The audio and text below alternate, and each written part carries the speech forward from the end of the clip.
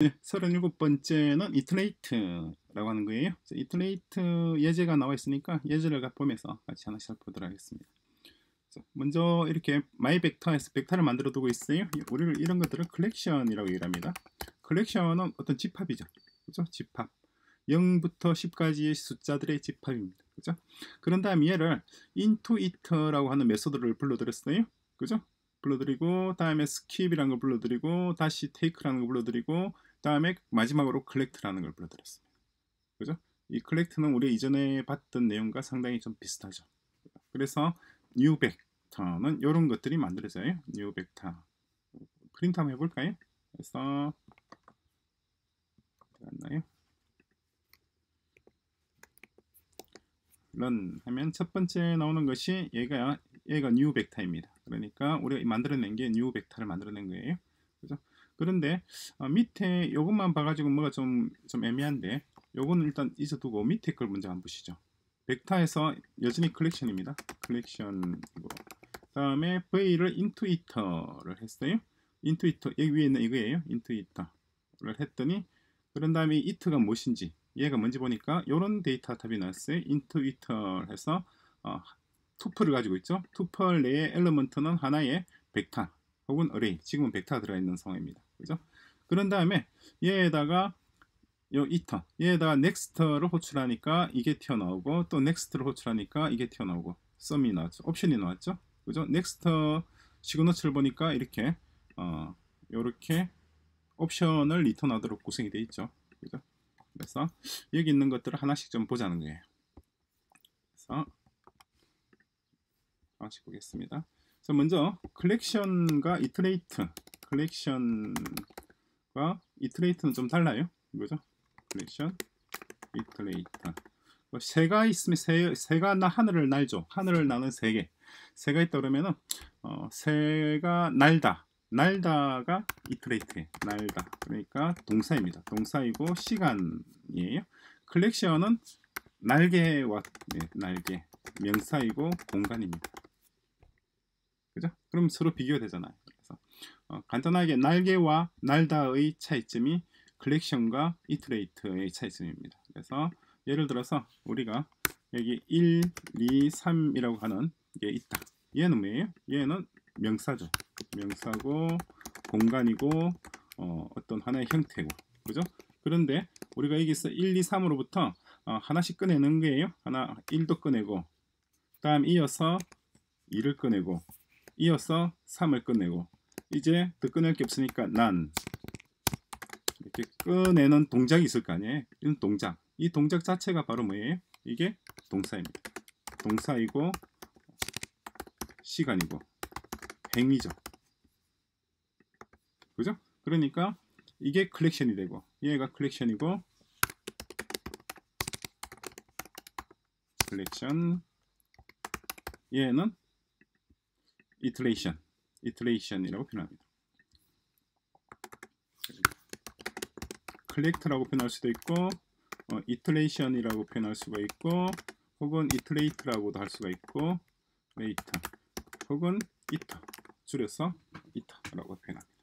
명사와 동사의 차이점이 컬렉션과 iteration의 차이점이에요. 그죠? 그래서 어, 보시면 이렇게 into iter v는 일단 얘가 뭐예요? 얘 얘는 컬렉션입니다. 그럼 into iter 하면은 이제 얘는 뭐가 나오느냐니까 이런 게 나와요.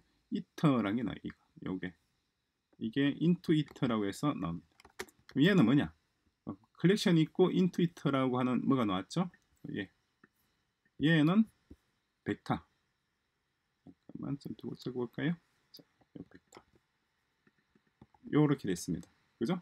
그런 다음에 어, 이제 여기서 실제로 next method를 적용을 하는 거예요. 이 단계.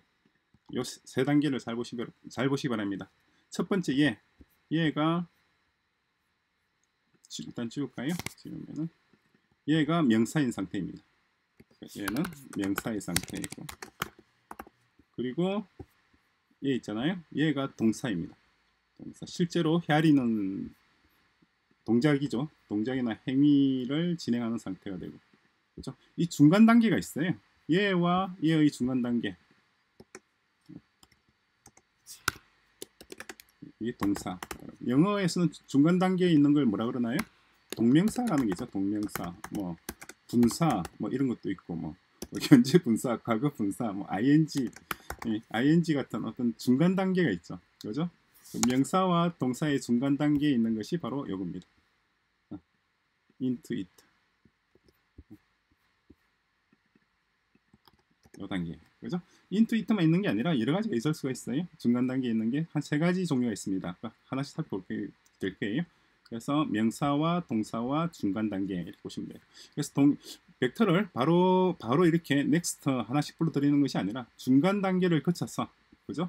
중간 단계 서울에서 출발한 기차가 부산에 바로 오는 게 아니라 대전역에 들렀다가 오는 거죠. 똑같은 이 대전역 역할하는 것이 바로 into iter라고 하는 거예요.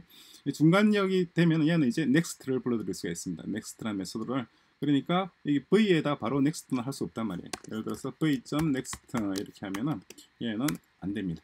에러가 뜨죠. 뭐라고 뜨나요? No method next found for struct 등등등 있나 했잖아요. 그죠? next를 바로 쓸 수가 없고 얘만 iter 그러니까 뭐예요? it 얘가 이 메소드를 가지고 있단 말입니다. 그죠? 그럼 iter라고 하는 얘는 어떻게 해서 이 method를 가지고 있는지 그것도 좀 이따 우리, 우리 살펴볼 거예요. 그리고 얘가 리턴하는 거, next가 리턴하는 것은 보다시피 옵션입니다. 옵션. 그죠? 옵션이니까 썸이거나 난이죠. 썸이거나 난이거나. 없으면 난이고 있으면 썸이 됩니다. 이해되시죠? 어렵게 전혀 없어요. 어, 그 이터레이터가 어, 러스트에서 가장 어려운 부분 중에 하나라고들 얘기를 합니다. 그런데 그렇게 어렵지 않습니다. 그냥 명사가 있고 동사가 있고 중간에 ing 예, 그러니까 분사가 있는 거예요. 그죠? 얘는 ing는 명사도 아니고 동사도 아니지만 명사와 동사 사이에 있는 형태죠. 그죠? 영어 공부할 때 다 공부했던 내용입니다. 자, 다음 예제를 한번 볼까요? 다음 예제는 뭐가 좀 길어 보이는데 천천히 같이 보도록 하겠습니다. 컴퓨터에서 조금 소리가 나고 있어. 자, 보겠습니다.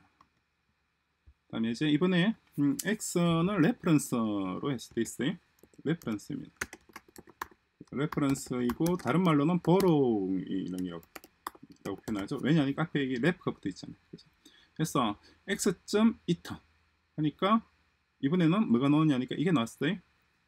x.iter에서 결과적으로 iter라고 하는 이게 튀어나왔습니다.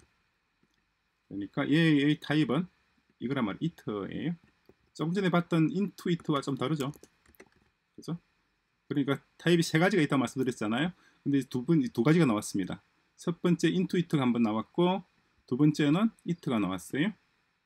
그러니까 ing 형태이고 어, 형태는 얘의 종류는 into it 있고 다음에 it가 있어요.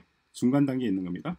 두 번째 게 나와 있죠. 그래서 어, iterator 얘를 한번 출력해 보겠습니다. 그러면은 이번에는 이전에 우리 출력할 때는 어, into iter라는 게 나왔었잖아요. 그죠? 이번에는 뭐가 나올까요? 보니까 iter가 나왔죠. iter. 그죠? iter라는 게 중간 단계입니다. ing 형태와 마찬가지입니다. 그럼 마찬가지 얘도 이제 next를 클릭하면 뭐가 뭐가 뭐가 튀어나올 수가 있죠. 그죠? 똑같습니다. 그러니까 차이점이 있죠. iter는 우리가 뭘 넣느냐니까 벡터, 벡터, reference가 아니라 owned 타입이죠. 얘는 얘는 on 타입, 온도입니다. 온도 베리어블. 그럴까요? 이거 얘는 variable. borrow.